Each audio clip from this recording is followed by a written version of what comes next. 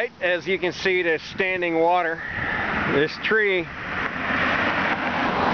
this looks just like a brick edge, but as deep as can be found is a concrete base. And the landscapers uh, that I just met with, the foreman and the manager, uh, we went up and down here with probes trying to find weep holes in this concrete. Even without the weep holes, there's no penetration beyond this concrete. Clearly this is saturated. They overwater this place to keep the azaleas happy.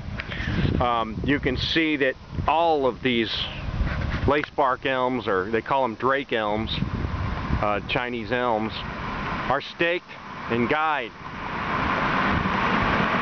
Um, they did not have them pruned for weight and wind sail reduction in accordance with the ANSI A300 support system standard. And now we're back here to square one. I told them if you want to engage on the fool's errand of uprighting this tree, then they need to bust out this wall. And they need to do a root invigoration procedure all the way out to within two feet of this curb in order to create a root zone for root growth so that this tree can stand on its own.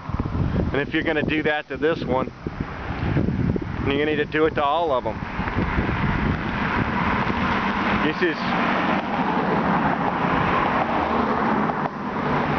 this is going to be the second exercise in futility. The first one being the installation of this guying system in the first place.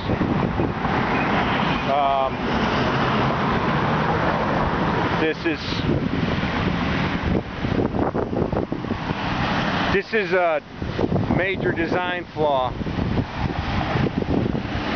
drainage needs to be accounted for here. I don't know if there are rain sensors, but we've had quite a lot of storms and the irrigation just keeps running like clockwork. And so the uh, price you pay to make sure that the azaleas get enough water is that you compromise the lacebark elms.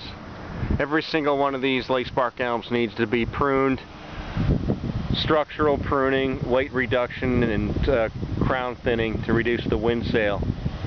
They all need root invigoration. They all need this, this beautiful and aesthetically pleasing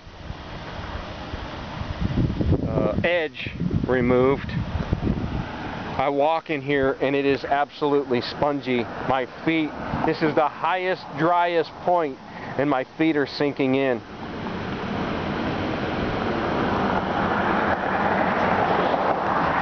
Um, so again, here's the tree.